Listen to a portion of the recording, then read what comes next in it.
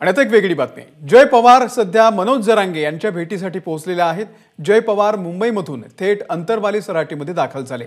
या दोघांच्या भेटीमुळे सध्या राजकीय वर्तुळामध्ये चर्चेला उधाण आलेलं आहे. तर जय पवार सध्या मनोज जरांगे यांच्या भेटीसाठी पोहोचलेले आहेत.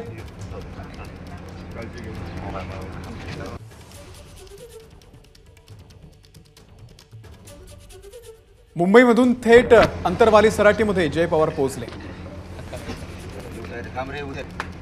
रवी मुंडे आपले प्रतिनिधी या संदर्भातले अपडेट देतील. रवी.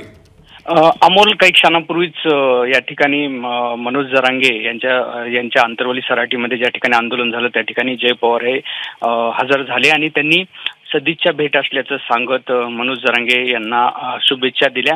मनोज जरांगे यांनी देखील त्यांचं स्वागत या ठिकाणी केलेलं आहे. अर्ध्या तासापासून खरं तर ते जरांगेंची प्रतिचक्र त्या ठिकाणी होते. अचानक अशी अनपेक्षित भेट आहे कारण आज सकाळी छत्रपती संभाजीनगर येथे हेलिकॉप्टरनं जय पवार दाखल झाले. आणि कुठल्याही मीडियाशी संपर्क न करता किंवा न संबोधित करता ते थेट आंतरवली सराटीला बायकार गेले. आणि आता त्यांची थोड्या क्षणापूर्वीच भेट झालेली आहे. आपण पाहतोय की बारामतीतलं राजकीय वातावरण तापलेलं आहे. त्या अनुषंगाने ही भेट देखील खूप महत्वाची आहे.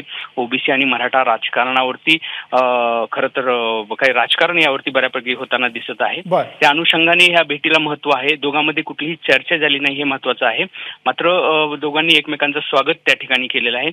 जय पवार यांनी कुठलीही प्रतिक्रिया देण्यास नकार दिला. ही केवळ सदिच्छा भेट असल्याचं त्यांनी म्हटलेलं आहे आणि त्या ठिकाणाहून ती लागलीच रवाना देखील झालेली आहे अमोल. रवी धन्यवाद दिलेल्या या संपूर्ण माहितीबद्दल. तर जय पवार हे उपमुख्यमंत्री अजित पवार यांचे धाकटे चिरंजीव आहेत.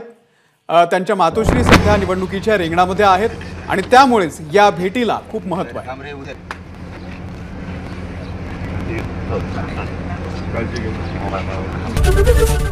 एबीपी माझा. उघडा डोळे बघा नीट.